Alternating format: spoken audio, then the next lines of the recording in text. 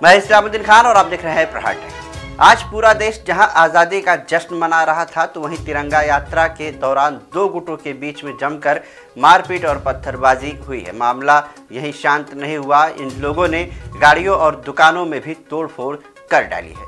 ये तिरंगा यात्रा में हुआ बवाल लखनऊ का है, जहाँ एक गुट तेलीबाग इलाके का था और दूसरा गुट बंगला बाज़ार इलाके का। इन दोनों गुटों के बीच में तिरंगा यात्रा के दौरान विवाद हो गया। इस दौरान दोनों गुटों में मारपीट के बाद एक दूसरे पर पत्थर भी फेंके गए। तिरंगा यात्रा के दौरान आपस में हुए विवाद में एक लड़का घायल भी हुआ है। मामला आशियाना के बंगला बाज़ार इलाके का है।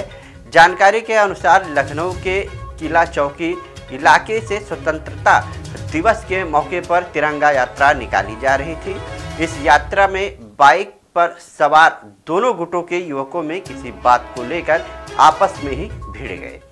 और तोड़फोड़ भी की, मारपीट हंगामे की जानकारी लोगों ने पुलिस अधिकारियों को दी। मौके पर पुलिस फोर्स भी भेजी गई, हालाँकि पुलिस पहुँचते ही मोर्चा संभाल ली।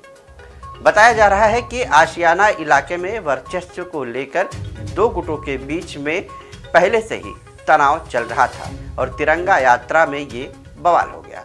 हालाँकि तिरंगा यात्रा में बवाल पर पुलिस ने नौ लोगों पर एफआईआर दर्ज किया है।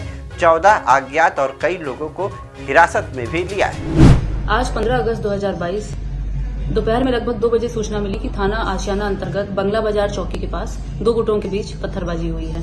सूक्ष्मता से जानकारी करने पे पता चला कि दो गुट हैं जो एक आशियाना से तेलीबाग की तरफ़ जा रहा था और दूसरा तेलीबाग से आशियाना की तरफ़ आ रहा था। दोनों की तिरंगा यात्राएँ निकल रही थी। और जो आशियाना वाला गुट था उसका जो हेड है सोनू रावत जो कि अभी जेल में है उनके गुट ने दूसरे गुट के ऊपर पत्थरबाजी की जिसमें एक लड़का रवि घायल हुआ। आयुष यादव की तहरीर मिली है जिसमें दस लोग नामजद हैं अन्य अज्ञात लोग हैं। उनकी तहरीर के आधार पर मुकदमा आशियाना थाने पे विभिन्न धाराओं में दर्ज किया गया है जैसे 147, 148, 149, चार सौ सत्ताईस तीन सौ तेईस पाँच सौ चार पाँच सौ छह और सेक्शन सेवन सीएलए में। मौके पर दो गाड़ियाँ भी डैमेज हुई थी, जिनको थाने पर ले आया गया है। बाकी तीन टीम्स लगाई गई हैं अरेस्टिंग के लिए। अग्रिम विधि कार्रवाई इसमें अमल में लाई जा रही है।